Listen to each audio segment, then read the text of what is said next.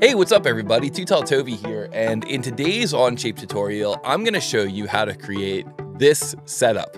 Now, really, I'm going to do this as a two-part series, um, and these, this video is going to be a little bit on the longer side. What I really wanted to do was create a true step-by-step -step tutorial that teachers or students could follow along with and create a hex bolt. There's a lot of good lessons we can learn from modeling a hex bolt. You know, we can learn about how to create these nice rounded corners on the head of a hex bolt. We can learn about what the proper way is to set up a helix and then to sweep a profile along that helix. And we're also going to talk about how to create this lead in here at the top of the hex bolt so that these two parts can in fact mate together or screw together. Now in the second video, I'm gonna show you how to create this hex nut and how to do what's called match threading, which means you've got an existing part and the threads in that existing part work well. Now you wanna create the mating component for it and you wanna kind of transfer those threads into the mating component. So I'm gonna show you how to do that in the second video, but for now, let's get into this first video. This is gonna be a true step-by-step -step tutorial on how to create the hex bolt, so it's gonna be a little bit on the longer side, but I'll include bookmarks down below, so you can just kind of click into the different sections of this lesson, and hopefully you will learn how to create a 3D printable hex bolt. Ow! So here we are in our web browser in the totally free version of Onshape, onshape.com slash free if you want to sign up for that free account. And we're going to choose to create a new document. I'll call this 3D printed hex bolt and nut. We're going to create the nut in the second part of this tutorial series, but in Onshape, it's very easy to create multiple parts that interface with one another all in the same document. So we're going to create this document here, 3D printed hex bolt and nut, and now we're going to create the hex bolt itself. Now, this is not working from any existing standard of uh, an existing off-the-shelf hex bolt. This is a custom 3D printed part that I'm going to create. And so with that in mind, if you want to change any of these dimensions to fit the project that you're working on, you know, feel free to do that. But this should be a really nice step-by-step -step tutorial to help you create a hex bolt. So I'll start out here by create by selecting the top plane, pressing S and creating a new sketch on the top plane. And then I'm gonna press N to get normal to. Now I'm gonna jump into the polygon command, the inscribed polygon command. You can see here that we've got the inscribed and circumscribed polygon. We're gonna use inscribed and you're gonna see why in just a moment.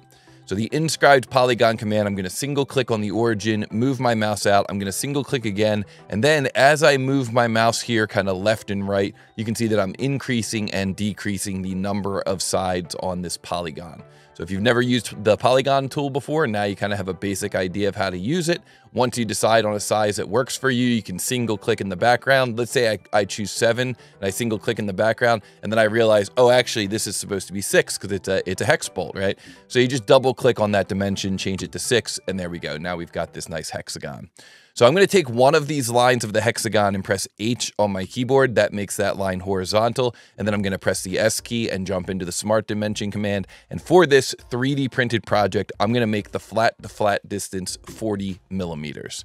So there we go. We've got our 40 millimeter uh, dimension there for the flat to flat. We've got a circle here uh, inscribed in this polygon. That's going to be important. We're going to use that in the next step when we go to create our rounded corners. So now let's take that shape and let's extrude it. So S key extrude, and we're going to extrude that up to a height of 13 millimeters. And again, these are just kind of uh, imaginary numbers that I came up with that look good, but for your project, they might be a little different, and that's fine. Um, you should be able to kind of follow along with this tutorial and then make changes as you see necessary. So we're going to make that 13 millimeters high, hit the uh, green check mark, hit OK, and there we go. We've created kind of the head for that hex bolt. I like to rename my features, so I'm going to use Shift N here. I'm going to say head for hex. And now I'm going to show this original sketch. So I'm going to show this sketch of that has a circle there. And the reason why I'm doing this is because I want to create those nice rounded corners around the perimeter of the hex bolt. And one way that you can do this is you can start with a sketch here on the front plane so this is the plane that's going through these corners of the hex, this corner and this corner of the hex. Um, this, is, this wouldn't work if I chose the right plane. You'll see why in just a moment. So I'm going to choose the front plane here. And then on the front plane, I'm going to choose to begin a new sketch. So begin a new sketch there, get normal to. And the geometry that I'm going to create is going to look like this. It's going to be a, a line that comes over like so. It's going to be another line that kind of comes up here like so. Let me delete that extra line. And then it's going to be an arc, which is tangent to that uh, upper line. So create an arc here. You can see that this arc has a tangency relationship to this upper line. If you didn't get that tangency relationship, just go back in and add it manually. Now I'm going to take this point of that sketch and this arc from the inscribed polygon, and I'm going to use what's called the pierce constraint, which means that wherever that arc is passing through the sketch plane, there's going to be a relationship. So I'm going to pierce that point in the current sketch to the arc of that external sketch and we can see that that locked in to where that uh, where that circle is. Now I'm going to create a relationship here, just a coincident relationship between these two. So I'll press I on my keyboard for coincident. And then finally, I'm going to add a dimension here. And the deeper this dimension goes, the, the closer you're going to get to tangency. So let's say I make that 1.5, and then I'm going to just press N to get normal 2. And uh, then I'm going to examine that dimension and I'm going to change that dimension to two. You can see that we're getting closer and closer to tangency here for this other arc. You can kind of imagine that by seeing where this point is relative to this point. The closer this gets to horizontal, the closer you are getting to tangent. Now, it doesn't have to be tangent. Um, I like, in this case, with you know, with this geometry that I've created here, I like for this dimension to be closer to, to close to tangent, but not quite perfectly tangent. But if that's what you wanted, you could take these two points and just make them horizontal to one another. I'm going to use a dimension here of 2.5. I'm going to create a line that goes up through the middle of the model here like so. And then I am going to perform a revolve command. So revolve and for the revolve command, I'm going to say this will be my revolve axis. There you can see what that preview looks like. It is showing up red uh, because I'm probably going to end up getting like a zero thickness error if I try to make this as solid geometry. But we're not trying to add geometry. We're trying to remove geometry. So we choose remove and there we go. We hit the check mark. We hide that original sketch and look at that thing. That thing is looking good. That is uh, pretty much exactly what we wanted from this model. Uh, nice little rounded off head there. And you can, you know, you can see that when you 3D print that that side is going to be a nice smoother transition where this side here, I'm going to leave this side sharp. And that way when you 3D print your model, you can kind of compare the two results and you'll see what I mean. And this is basically what a, a traditional hex bolt looks like. It's got these rounded off corners here. Well, that's how you can create that geometry in Onshape. So now let's uh, let's rename this feature Shift N. We'll call this um, uh, rounded corners on hex. And let's move on now and create our next feature, which is going to be the shaft for those threads. So I'll pick this face here, begin a sketch, uh, orient my view. I'll just leave the view oriented the way it currently is. Create a circle here, and I'm going to give this circle a diameter of 20 millimeters, and then I'm going to extrude that out to a height of 65 millimeters. So I'll press Tab, Tab, Tab, 65, Enter, Enter. There we go. Nice quick way to uh, to quickly create that geometry. And we'll call this thing Shift N here, uh, shaft for threads. Always good to rename your features, kind of let you and your, your coworkers know what's going on with those features. Now, what I want from this thing, let me do a shift one here to get into my front view. What I want from this thing is I want to have a lead in so that when I go to, to put this thing into the, the nut or, or engage the threads into the mating component, uh, it's it's very easy for the geometry to to mate together. And the the intuitive way of creating this feature would be to create a chamfer. So I could create a chamfer like this. The problem is we're going to be adding material for the threads. And once we add that material for the threads, we're not really going to have a clean edge that we can just chamfer.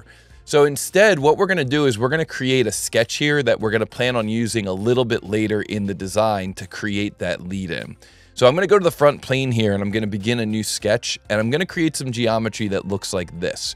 It's going to uh, start here uh, kind of at this, this top edge of the model. It's going to come down here at about a 45 degree angle. It's going to come up like this. Uh, we'll probably bring this up like 10 or 15 millimeters above the model. It's going to come over like this, uh, same kind of idea, 10, 15 millimeters above the model. And then we'll close this off here like so. Let's make that 10 millimeters. That looks pretty good. Let's make that line vertical and let's create a coincident relationship between these two entities. Uh, like I said, we're going to have a, uh, an additional kind of offset here. Let's say we'll make this uh, 12 millimeters uh, really kind of arbitrary what that distance is. And then we're going to define what the lead-in angle is here. Now I'm going to make this at 45. You might decide to make it a little bit more or a little bit less. I'm going to make that lead-in angle at 45 there. And then I'm going to finish up by creating a vertical line here. And this vertical line is going to serve two purposes. It really is going to be used for construction. So I'm going to take that line and just uh, click on it and press Q to turn it into a for construction line. And then I'm going to add some dimensions. I'm going to add a dimension here to represent what the diameter of that lead-in is. And I'm going to make that diameter uh, 14 millimeters uh, to work with this geometry. And then I'm also going to create a dimension here that goes from this point to the top of the model, and I'm going to make that at 5 millimeters. So basically, this is at one half of this distance here. And the the uh, significance of that is that that's going to become the endpoint of our helix in just a couple of steps. You'll see that in just a couple of steps. So just kind of kind of bear with me. But the reason we're creating that with a dimension instead of just leaving it free is because if the length of this shaft changes, we want the helix to update with that length change. So that's why we're assigning a relationship uh, between the the uh, top of the shaft and this endpoint here. So I think that sketch looks pretty good. And eventually what I'm going to do with that is a revolve cut uh, or revolve and remove material, but I'm not going to do that yet. So I'm just going to hit the check mark here and I'm going to rename this to uh, sketch uh, for lead in chamfer. Call it that. Sketch for lead in chamfer. So I'm going to be using that sketch a little bit later in the tree, but I wanted to create it now while I have nice sharp geometry before I get in and actually create the threads. All right, so uh, now what I'm going to do is I'm going to hide these uh, front, top, and right planes. Uh, I'll just hide them using the, the traditional hide command instead of pressing P, because I do still want to see some of my planes. And uh, one of those planes that I do still want to see is going to be a new plane that I'm going to create here. So I'm going to pick on this face here and I'm going to go into the plane creation command. That's going to automatically take me into an offset plane command. And I'm just going to offset that three millimeters and that three millimeters is going to go down underneath that head of the bolt. And this is where my helix is going to begin. And uh, that way my threads kind of immediately begin here at the bottom and I don't have to do any cleanup. We could, there's other ways that we could resolve this issue, but this I think is a, a fine way if you're going to be 3D printing uh, to, to create the transition between the threads and the underside of the head. So I'm going to create a, a, plane here, which is down three millimeters down underneath. And there we go. And that is going to be, I'll do a, a, rename there. That'll be plane for helix uh, base circle. Call it that. All right, so now let's create that helix base circle. So I'm going to pick this plane. I'm going to choose to create a new sketch.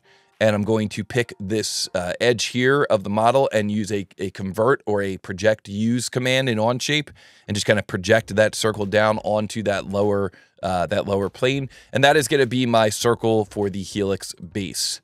So now we're going to get into the helix command. Now, if you don't know where the helix command is, that's fine. In Onshape, we can always use the search tools command here. So I could search for helix, and there we go. And you can just launch the command right from those search results. So I'll launch the helix command.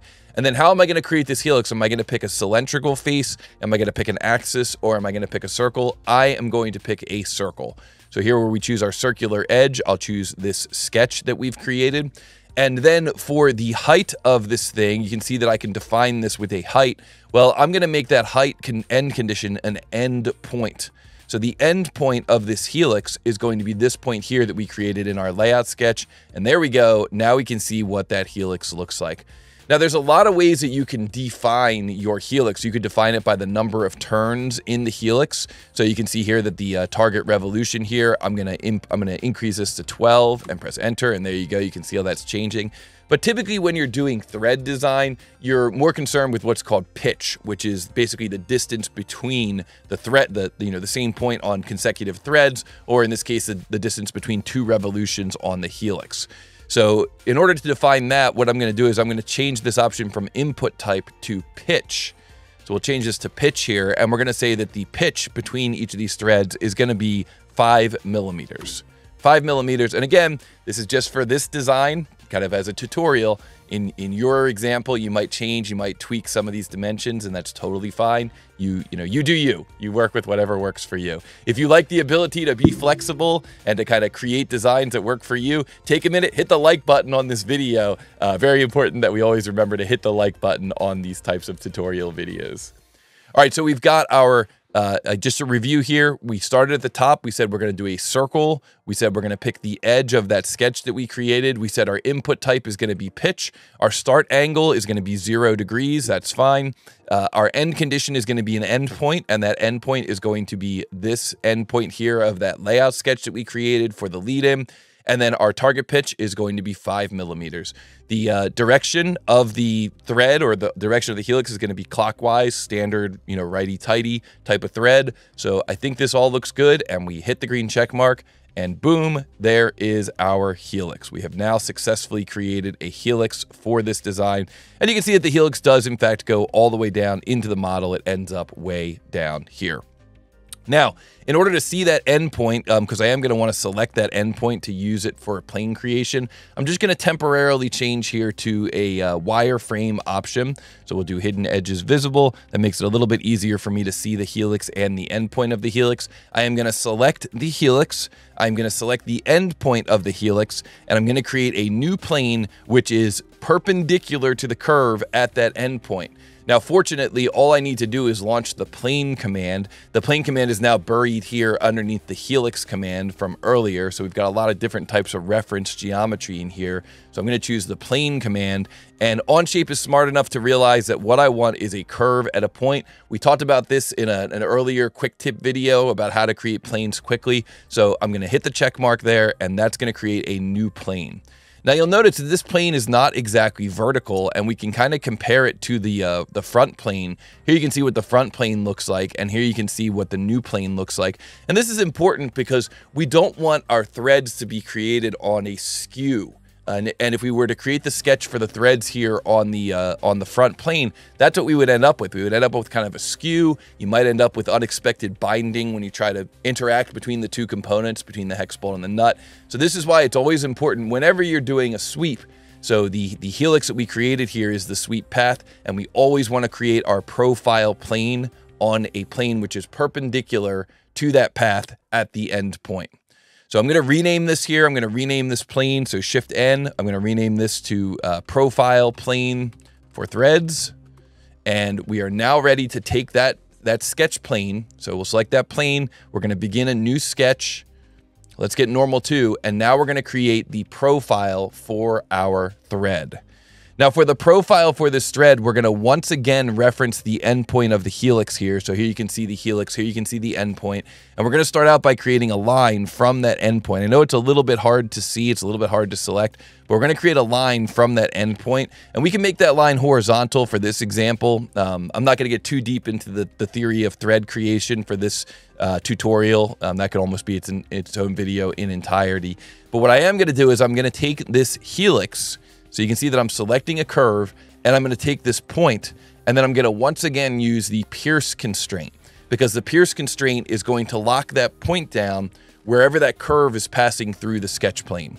So I'm going to pierce that that that endpoint of my line to this curve. So wherever this is passing through the sketch plane, that's where the pierce takes place. Now with the helix, it's a little tricky because it's actually passing through it in multiple locations, right? The helix is passing through my sketch plane down here. It's passing through it over here, over here, over here. So it's usually, you know, whichever pierce constraint is closest will be the one that is solved. But just keep that in mind. If this line was up here, I might accidentally actually pierce it to, to this location, and that's not what I want. I want to pierce it down here. So for the pierce, we pick the curve, pick the point in our current 2D sketch, and that allows us to pierce that geometry. This is going to become the center line for my thread. So I'm going to uh, change that geometry. I'm going to press Q and change that geometry. And then I'm going to create the geometry for the thread. And the geometry for the thread is going to look something like this. I'm going to start out with a line command here. I'm going to create a line which is perpendicular to that uh, original line that I created. Uh, I'll get in there and just add a perpendicular, or I can make a vertical here. I'm going to create a line that comes down here and kind of overshoots that original line that I created. And then I'm going to put in uh, a mirror of that geometry. So I'll just window select that geometry and mirror to mirror it across. And now that I have created that mirror geometry, I'm ready to get in here and start creating some dimensions. So at the peak of that thread, I'm going to use a dimension here of 1.2 millimeters. At the base of that thread, I'm going to use a dimension here of 4.2 millimeters. You know, maybe you don't want to use those dimensions. Maybe you want to use an angle instead. That's totally fine. Uh, I'm going to create a dimension here from this point to the, the base of the thread, and it's just going to be a small dimension. And the reason that this, this overlap exists is because the helix is running right along the outer face of the, the shaft. Well, I want there to be just a little bit of overlap so I don't end up with like a zero thickness error or a gap or any kind of a problem with that thread. So that's why we create just a little bit of overlap. Now, if you uh, if you wanted to control this dimension a little bit more accurately, what you could consider doing would be to create a, a line that goes from this point to here, a vertical line, and then also creating a line that goes from this point to here, a vertical line, and then dimensioning between those two points. And uh, that way, your 4.2 would be a little less arbitrary, a little bit uh, easier to accurately control what the, the width is where the thread is touching the shaft of the hex bolt. But, you know, again, this is these are nuances that each person is going to decide as they're creating their geometry, you know, what works best for them. The final dimension I'm going to add here is just going to be the distance that the thread is sticking out from the shaft. This might be considered your thread diameter in, in traditional mechanical engineering terms, and you might create this dimension to the actual center line of the model. But in this case, I'm just going to be creating this as more of a, a theoretical exercise, a training exercise. So I'm going to make that at three millimeters. And now that I've got that thread profile created, I'm ready to sweep that along that helix. Let's now take that, that sketch and exit that sketch. That is our thread profile. So sketch, thread profile. And now we are ready to sweep that thread profile along our path. So we jump into the sweep command here in Onshape, and we're going to say that we're going to sweep this thread profile along this path. And there we go. I love the preview that Onshape gives us for that, that sweep. That looks fantastic. That's exactly what we were hoping for. So let's hit the green check mark, and that creates our hex bolt. I'm going to switch back here to a shaded view. Oh yeah, that is looking good. So we can see here that the, the way that we created our helix was that it kind of overshot the top of the shaft because it went up to that that end point on that layout sketch that we created, that uh, sketch that we created for the the lead-in chamfer there. And so what that means is that we now need to use that sketch to remove that excess material. And so that's why we created that sketch the way that we did. We created it intending to remove this excess material and to leave ourselves with a nice lead-in. So let's take that sketch. So here we can see our uh, sketch for lead-in chamfer. And let's do a revolve and this is going to be a revolve about this axis here, and we are going to be doing a remove. And look at that. You can already see how nice that looks. So I'm going to hit the check mark there, and I'm going to hide that sketch. So we'll hide the sketch for the uh, lead-in chamfer. I'm going to do a right mouse button here on the helix and choose to hide that. The Helix does show up as an item down here in our parts studio down here, kind of like its own extra body. So if you want to completely get rid of that Helix, you can right mouse button down here and choose delete. And you might just do this just for cleanup, just so if somebody else sees it, they don't see an extra body in the tree. And now we can do some final renaming. So I'll rename this one to uh, thread sweep. I will rename this one here to uh, lead-in chamfer. So uh, cut revolve, lead-in chamfer. And then I will rename this feature here to uh, delete helix. And there we go. That gives us a pretty nice result there. I can press P on my keyboard to hide all my planes. We can rotate this thing around. We can take a look at it. And if you're if you're feeling good about this, what you can do is a right mouse button down, down here on part one, and you can choose export. And that's going to allow you to export that as an STL. We'll call this hex bolt uh, test one. And you can export that as an STL, send it over to your 3D printer, and you too can 3D print one of these hex bolts. So I think that's where we're going to stop with our tutorial today. If you enjoyed this tutorial, be sure to like the video, be sure to subscribe, and of course, be sure to come back for the next video where I'm going to show you how to create the mating hex nut and the match threads so that these two components can actually thread together.